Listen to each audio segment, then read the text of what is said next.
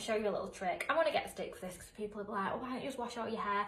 Number one, because it's not hair wash day. Number two, I've just had the most amazing phone call and I need great hair tomorrow, so it's got to be done. And number three, when you're a busy person, when you're a mum and when you work full time, sometimes a crown wash is necessary. So guys, I've just done a crown wash. A crown wash is basically you just wash from the crown section. So all this hair isn't greasy.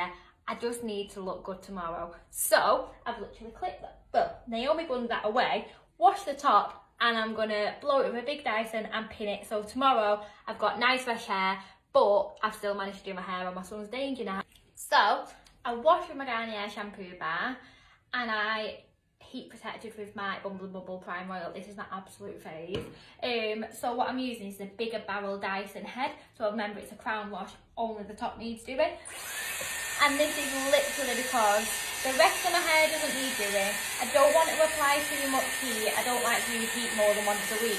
So if that needs to be done, like it does, because I need nice hair tomorrow, then obviously I will wash my hair again. But I would rather just wash the top and just apply heat to the top rather than do it to my whole head. Also, it massively cuts time. So Sullivan's having a day danger nap, so I thought might as well get it done. So yeah, so I literally am just going to do my top section, pin, and it just gives me that fuller, cleaner look on top without having to do like a full blow. I'm going to add my fringe into it, and I'm literally just doing big pins. Obviously through my Naomi bun, the rest of my hair has stayed a nice wave. So I'm doing the bigger barrel so it's more bouncy. I'm going to keep the back in the Naomi bun, pin the top. Tomorrow I'm going to brush it out all together so it's going to be nice, clean and full. Remember, always do the cold air setting. Pin.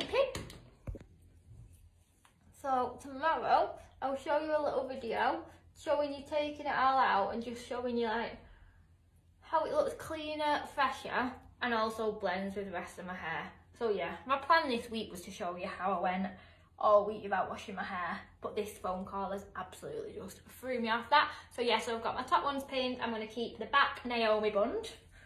I'm going to show you. So twisting round, because you can see I've still got all my curls left from this week. So these, it's still nice and clean. There's no point whatsoever washing it and putting heat on it and damaging it. So yeah, Naomi bun through the back, pins in the top, top nice and clean and fresh. This is a really good tip for if you've got somewhere that's through your wash off. So maybe like you do weekly washes and you end up needing it cleaner midweek. This is a really good tip.